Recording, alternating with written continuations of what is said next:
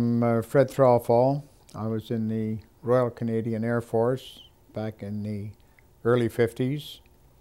Uh, I was a communications instructor. I went through uh, communication schools.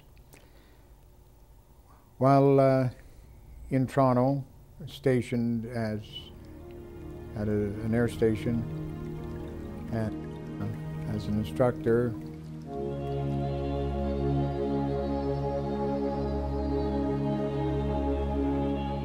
I just finished an experiment and uh, I was on my way back to uh, my classroom and uh, there are other um, engineers and uh, what have you at the Institute that I've known of because I'm a frequent visitor there.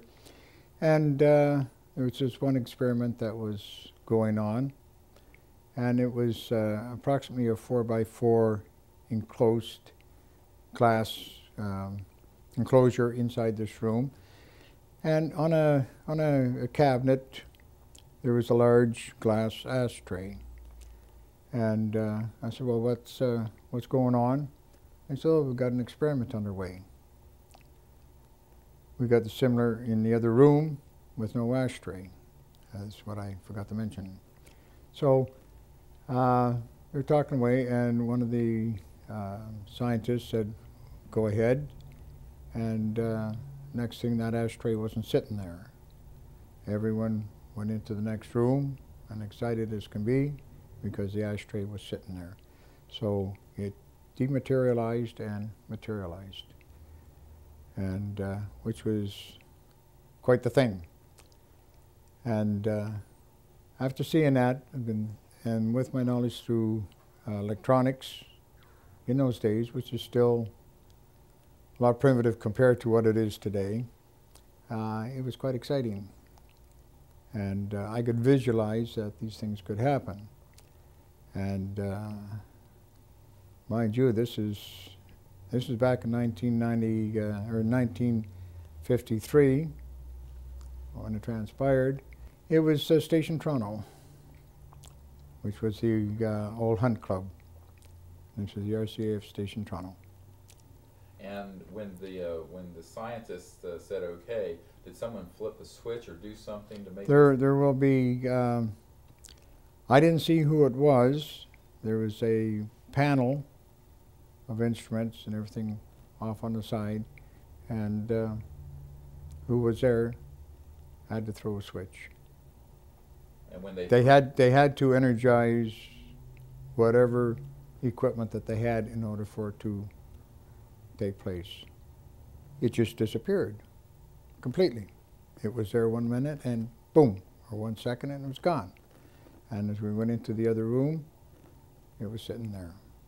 And it was the, the, the identical same object. Exactly the same object. Went through, everyone rushed through to the other side to see if anything happened, and uh, it did. It was there. And the excitement, and uh, I saw it there, and well, and I was asked, I said, well, what are you doing here? And I said, well, I just finished an experiment, sir, and uh, was on my way back, and I was just talking to a couple of our friends here. Well, you're not supposed to see this. I said, yes, sir, and I went back to my classroom. So you were specifically told that you were not supposed to I wasn't that. supposed to see that because I wasn't part of the investigation team or the scientists. But with having uh, being an electronic uh, instructor, I had top clearance to be in facilities for the experiments. Some of the uh, the experiments that uh, that we would volunteer for would would take a period of time, sometimes be two or three days. And uh, with the uh, clearance that I had, I was able to um, draw out a projector and also films from the library uh, on, the, on the base. And uh, I used to get the, uh, the films that were taken from the cameras that were mounted on uh, Spitfires and Hurricanes Mustangs, whatever, during World War II. And uh, you see the, uh, the plane flying along there, and they're going after the German aircraft, and you see the tracer bullets going out, and the, the craft uh, going down in flames and that. And up in the corner, one of the corners, up, down, or down below, there'd be a strange little object sitting there, which drew my attention. And I'd seen it on many films, different shapes, different positions. And uh, this piqued my curiosity with regards to UFOs. Uh, I had heard of the crash uh, down in Mex- New Mexico. I have seen the maneuvers in the sky at uh, complete right angles and uh, rapid speed.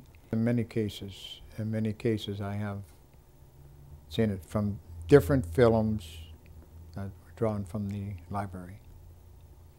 So they're uh, not just one, there are several times. I, I saw the objects that I believed were UFOs that I could see, definitely.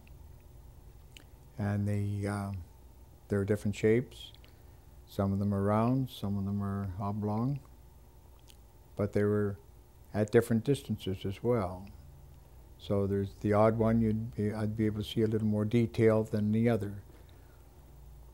What kind Uh, of detail could you make well, out on some of them? the, the detail, uh, it's not a real close-up shot, shot, but it would look like they're, um, how will I like to explain it? Like markings, but not like markings we'd put on an aircraft. You know, it, uh, it could be a series of windows or lights or whatever it could be. It's, it's, you just see an outline. But you had no doubt that these were structured objects and not That's correct, yes. 20, 30 films. had O- UFOs o- o- o- over a period of time, yes, I'd see UFOs in them, whereby it was something there that was watching what was going on.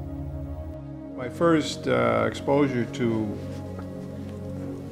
the discovery that this anti-gravity research was quite a big area, not talked about very much, uh, but it, that it was a major endeavor by major aerospace corporations. This uh, came from this report, Electrogravitic Systems, which I found very revealing. This is a photocopy.